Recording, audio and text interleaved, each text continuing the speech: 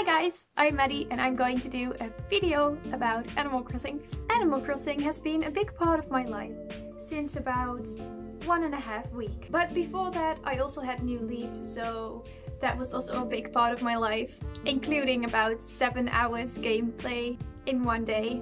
The characters are all, or most of them, so cute and I thought it would be really cool to make an outfit video about this. There are about 200 characters I think, maybe I'm wrong, but that's a lot. So I had to make a decision which ones I wanted to do. So I chose for a few that I have in my own town so that I know them better. I also chose for a few other characters that I don't know yet. I am going to look at their feather and fur color. Is that racist?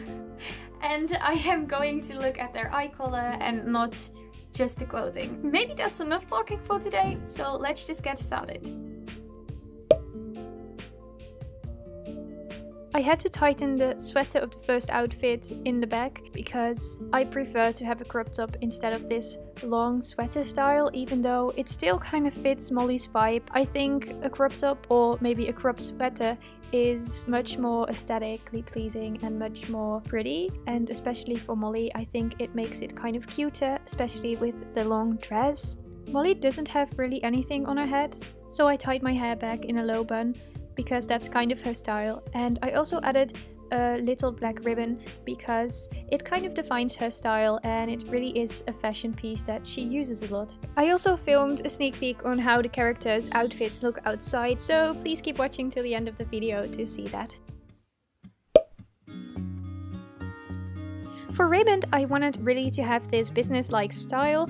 I don't have a waistcoat, so I compensated that with this blazer, which also looks really fancy.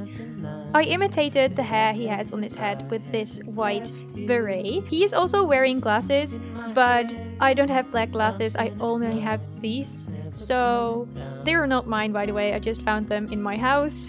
but here is the final look.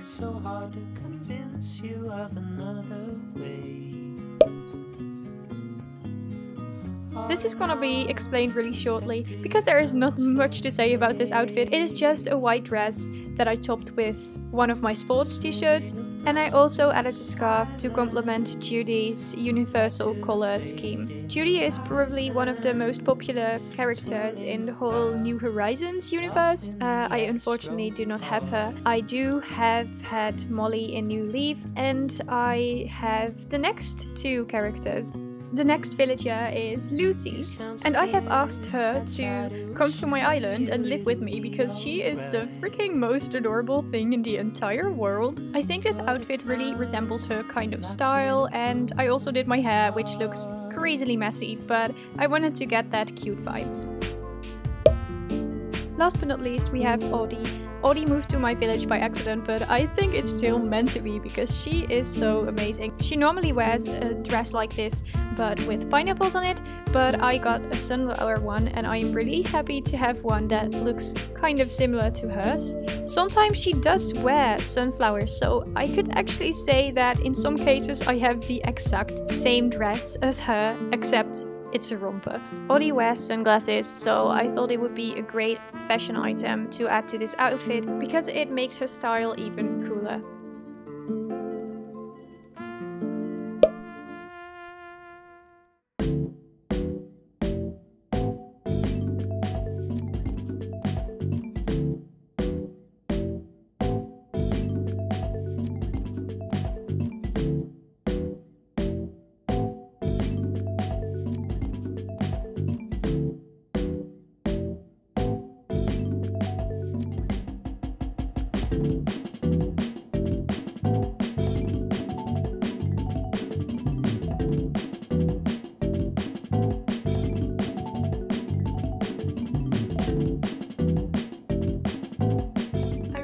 You enjoyed this video.